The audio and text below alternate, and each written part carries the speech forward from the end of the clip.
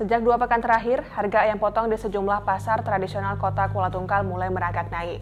Sebab sebelumnya sempat di harga Rp29.000 per kilogram, kini naik di harga Rp37.000 per kilogramnya.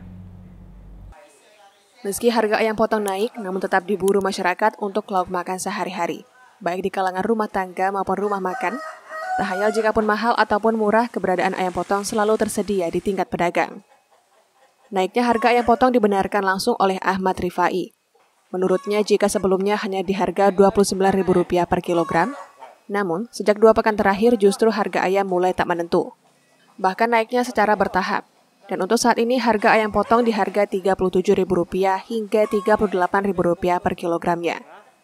Sedangkan untuk pasokan ayam potong dari agen justru sedikit di tingkat pedagang. Sebab ayam potong di peternak agen akan disiapkan untuk menjelang Hari Raya Idul Adha mendatang.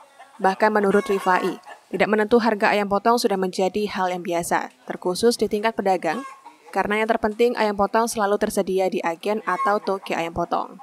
Kita naik dari harga lebaran Idul Fitri tadi. Sepekan lah naik, berapa berapa hari ini lah? Sudah hampir setengah bulanan. Setengah bulanan yeah. naik. Ini apa pasokan tidak ada atau seperti apa?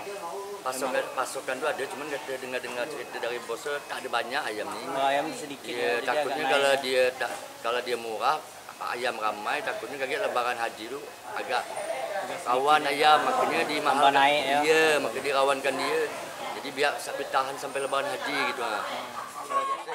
Kendati demikian, jika harga ayam potong tidak menentu, sedangkan untuk harga ayam kampung justru stabil, bahkan tidak ada kenaikan harga. Sebab hingga saat ini harga ayam kampung di harga Rp65.000 per kilogram. Meskipun stabil, stok ayam kampung selalu tersedia di tingkat pedagang. 65 nih? Standar. Standar ya? Jadi lainnya kalau lebaran, lebaran kan lain aja. Hmm. Lebaran itu kita beli yang tinggi. Hmm. Ini paling 65 ini sudah sejak le habis lebaran kemarin lah ya? Iya. Dari Tanjung Jabung Barat, Adi Bastian, Baik TV Jambi, melaporkan.